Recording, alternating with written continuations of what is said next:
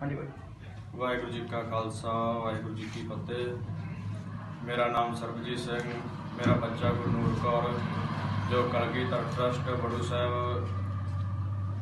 ਦੇ ਵਿੱਚ ਪੜ ਰਹੀ ਹੈ, ਜੋ ਕਿ ਮੈਡਮ ਪ੍ਰਿੰਸੀਪਲ ਮਨਦੀਪ ਕੌਰ ਤੇ ਅਤੇ ਸਮੂਹ ਸਾਰਾ ਸਟਾਫ ਬਹੁਤ ਮਿਹਨਤੀ ਹੈ, ਜੋ ਕਿ ਬੈਕ ਪੱਤੂ ਅਕਾਲ ਅਕੈਡਮੀ ਦੇ ਵਿੱਚ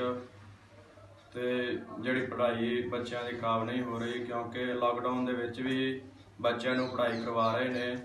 ਆਨਲਾਈਨ ਜਿਹੜਾ ਸਿਸਟਮ ਬਹੁਤ ਵਧੀਆ ਹੈ, ਜਿਸ ਕਰਕੇ ਬੱਚੇ ਦੀ ਪੜ੍ਹਾਈ ਖਰਾਬ ਨਹੀਂ ਹੋ ਰਹੀ ਅਤੇ ਜੋ ਕਿ ਲਗਾਤਾਰ ਨਿਰੰਤਰ ਬੱਚਿਆਂ ਦਾ ਜਿਹੜਾ ਸਕੂਲ ਦਾ ਕੰਮ ਚੱਲ ਰਿਹਾ ਹੈ, ਜਿਸ ਕਰਕੇ ਬੱਚਿਆਂ ਦੀ ਪੜ੍ਹਾਈ ਦਾ ਨੁਕਸਾਨ ਨਹੀਂ ਹੋ ਰਿਹਾ। ਸੋ ਧੰਨਵਾਦ ਹੈ ਸਟਾਫ ਦਾ। ਜੋ ਇਹਨਾਂ ਮਿਹਨਤੀ ਸਟਾਫ ਬੱਚਿਆਂ ਨੂੰ ਲਾਕਡਾਊਨ ਦੇ ਵਿੱਚ ਵੀ ਪੜ੍ਹਾਈ ਕਰਾ ਪੜ੍ਹਾਈ ਕਰਾ ਰਹੇ ਨੇ ਬੱਚਿਆਂ ਨੂੰ,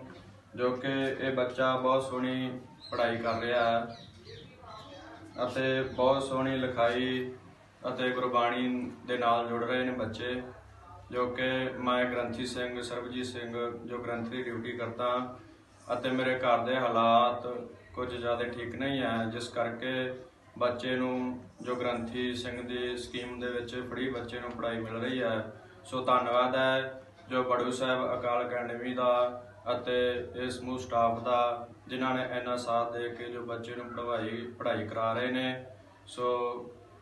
ਧੰਨਵਾਦ, ਵਾਹਿਗੁਰੂ ਜੀ ਕਾ ਖਾਲਸਾ, ਵਾਹਿਗੁਰੂ ਜੀ ਕੀ ਫਤਿਹ।